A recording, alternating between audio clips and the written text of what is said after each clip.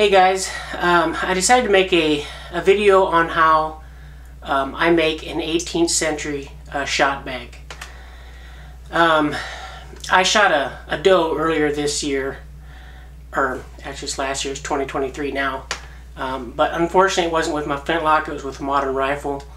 But uh, I have one of my brothers, he likes to mess with deer hides and uh, tan them. And so we decided we're going to try a bark tan. It's the first time he tried it, and I think it turned out well. He doesn't, but anyway, um, I'm going to make a shot pouch with this bark tanned deer hide. I've cut out the uh, the pattern here. Now this is, I'm trying something a little bit different with this one. Um, but before we get into that, I'm going to talk a little bit about shot pouches. Um, there's obviously not a whole lot of surviving original shot pouches from the 18th century, especially the mid 18th century, which is my time period. Um, supposedly there's a few of, of them um, that have survived from the late 18th century. But from what we know, um, from images, from the very few surviving ones, and from descriptions, it seems like for the most part in the mid 18th century shot pouches were pretty small. Um, this one here, I'm kind of going by the dimensions, you know, um, that I get from historical references and what have you. This one is going to be about seven inches, seven and a quarter inches square. Um, what I've done, I normally cut out separate pieces and um, stitch them together, but I decided to try it, and I think I've heard that they may have done this. I'm not really sure about that. Done it in one piece. So what it is, this is the body and this is the flap. so I just simply fold this over and I sew it down here and along the bottom and then this will be the flap which I will shape later. Um, there's lots of different bag shapes. Um, it's it's really hard to tell, you know, be really specific when it comes to bags. So therefore, we can take a little bit of uh, license in kind of putting our own taste in there too, maybe. Um, this one, I am trying to um, fashion in a manner that you know maybe a guy that um, a market hunter let's say you know he's out um, he's away from civilization for the most part and uh, he needs a new bag. Um, he shot a deer. He's going to use the hide to make himself a bag. That's kind of what I'm doing here.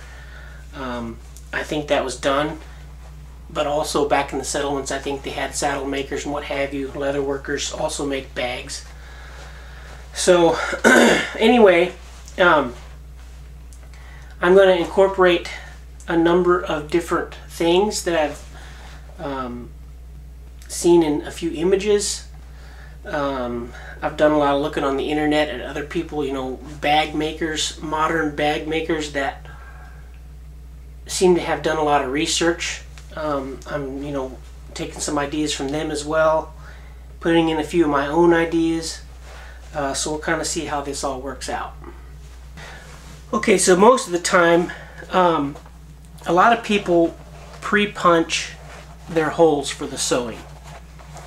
Um, like I said, I'm going to sew it down here and along the bottom. Um, sometimes I've, I've done that already, but in this one I'm not going to because I've got this needle. Um, I don't know if you all can see that, but it's a it's a very sharp, it's actually got three sharp edges on it. Um, I use this for um, wildlife taxidermy. Um, you don't really need to pre-punch holes because this is very sharp. And also I'm going to include a welt. Um, I'm going to include a welt in the sewn edges here. And that's basically just a strip of leather about a quarter inch wide and um, it lays in if I can get it together here it lays in the the sewn edge basically between these two edges um, that I'm going to be sewing together. It goes in between there because when this is finished, I'm actually doing this backwards. I need to, I'm going to sew it inside out. So this is the inside. And then when it's finished, I'm going to turn it inside out, right side out, however you want to term it. And um, it'll be finished. But this, this welt will show a little bit between these two edges. It, it helps uh, strengthen it. It helps hide the uh, stitching, help protect the stitching. Um, that's kind of the purpose of it. So I'm going to get my uh, thread here and start sewing. And I'm not going to bore you all with that. I might show you the few first stitches. I'm, I'm using, uh, my friend Nathan Jeffrey gave me this. This is very similar to like the linen wax thread. Um, this was this was called, it's a waxed, um, but it was like a cordage of some kind, or a cord, they called it. Um, not exactly sure what it is, but I've got a lot of it, so I'm going to use it. Alright, so we're going to start this here. I've got it turned inside out. Put this welt in here. I don't know if I can do this.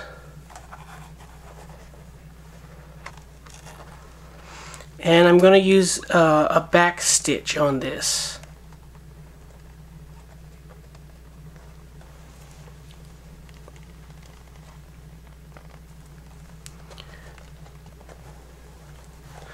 if y'all can see this or not. This is kind of poor lighting, but uh, so basically going through the three pieces of leather. I'm going to actually tie this off. This first one.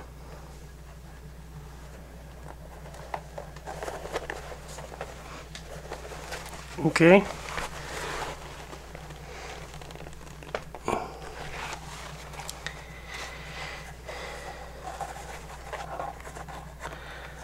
I think I'm going to get me some clothespins and pin this together um, to hold it together because I'm having a hard time keeping all these three together. Be right back. Alright, so I changed my mind. I'm going to use just a running stitch all the way down and then come back through the opposite way and it'll be like a back stitch. I tried the back stitch. I have no clue what I'm doing. So I'm just going to do it the way I know how. Um,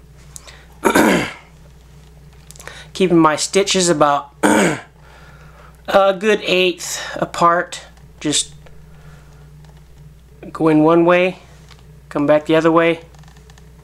Just a simple running stitch. So I'll get this stitched up and I'll get back with you. Alright guys. So I've got it sewn up here. I don't know if you can see this very well or not. Um, I just did a simple uh, running stitch all the way down turn around and came back through the opposite way. So it looks like that. Now we're going to uh, soak this thing in water for a couple minutes and turn it inside out. Okay, this has been uh, soaking for a bit, so we're going to go ahead and try to invert it.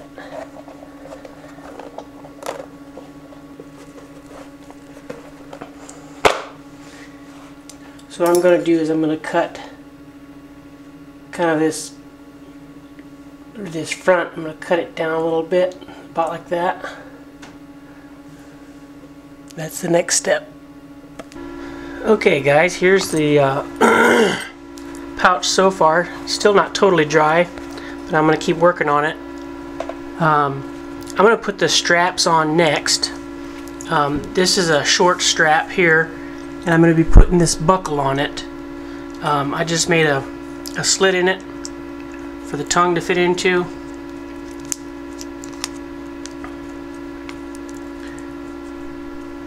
And uh, I'll sew this here, sew the buckle on, and that'll attach back here to this side. Now, um, I like buckles on my pouches to adjust the straps with. Um, this buckle here is actually a, uh, a copy of an original found in, uh, let me see if I can pronounce the name,